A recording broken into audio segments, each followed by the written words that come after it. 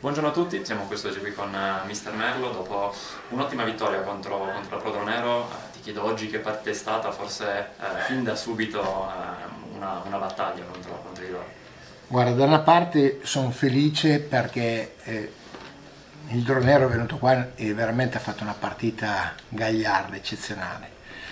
E, non dico che ci ha sorpreso perché lo sapevamo che loro sono una squadra che non ti molla niente assolutamente noi abbiamo fatto una buona gara, siamo stati puniti su degli episodi abbastanza incredibili perché il calcio di rigore loro che c'è senza nessun dubbio, però sono quei rigori che li danno nella nuova epoca del calcio, perché su un cross uno ha la mano attaccata, eh, però è rigore, niente da dire.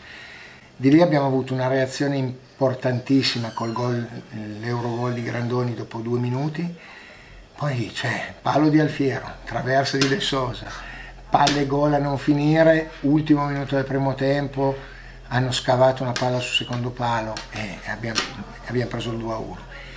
Nel recupero ha fatto una giocata incredibile Diego e, e Alfio ci ha riportato sul 2-2 andando a riposo. Poi noi sapevamo di avere qualche arma in panchina fresca mentre il dronero era un po' più tirato a quel punto di vista lì comunque poi la differenza nel secondo tempo si è vista perché abbiamo creato veramente non so quante occasioni da gol.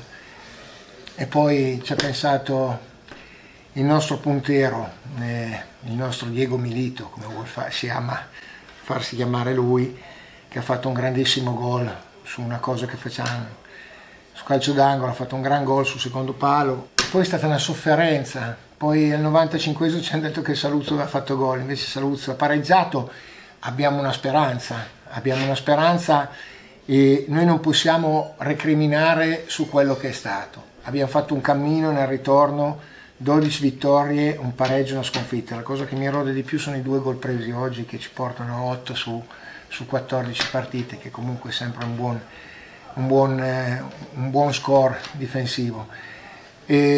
Abbiamo sofferto, abbiamo sofferto veramente come cani ma l'abbiamo portata a casa con tutte le forze che ci rimanevano in una settimana da nove punti con tre squadre forti perché oggi il Vanchiglia mi sembra abbia vinto.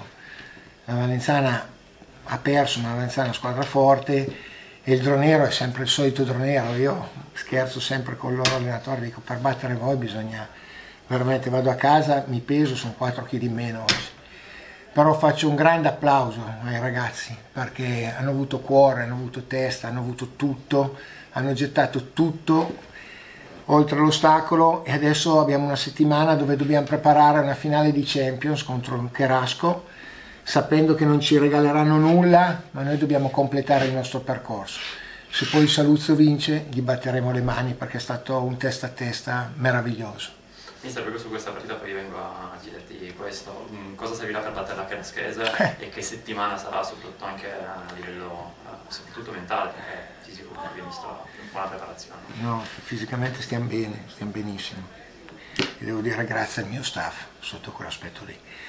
E servirà partita intelligente ma lucida, eh, sapendo che loro sono davanti al loro pubblico, no? eh, come giusto che sia non ci regaleranno nulla, però noi abbiamo delle motivazioni veramente importanti che non ci devono far fare il salto al contrario, quando la senti troppo noi dobbiamo andare in campo, come siamo andati in campo sempre.